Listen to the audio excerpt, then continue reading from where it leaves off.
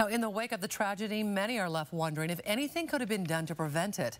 Experts say knowing the warning signs of someone in crisis and reaching out to that person can make a difference. KXLY4's Ariana Lake joins us in the studio with more on that. Ariana? Nadine, this is a conversation we're having right here at KXLY. This week, a Spokane County Sheriff's Deputy is working with staff here about how to face something like this. He said it's crucial to pay close attention to the people around you so you can speak up before that person does something dangerous.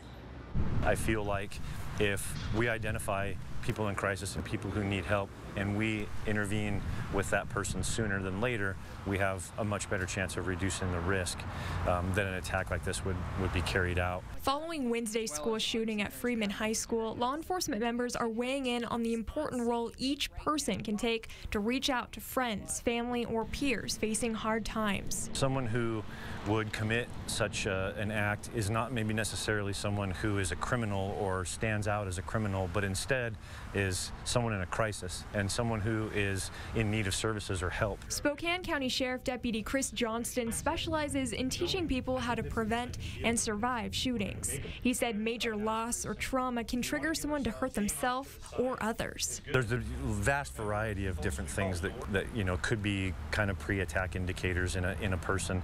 Um, but the main things are uh, a change, a significant change, um, a significant change in emotional behavior, a significant change in uh, how somebody interacts with other people. Johnston says some people might make threats while others keep their emotions hidden. Whatever the case, Deputy Johnston says it's crucial to notice changes and get help before it's too late. There's a big difference between kind of being a tattletale and being willing to speak up if you see signs or, or hear signs uh, that someone might be considering violence as a way to solve their problems.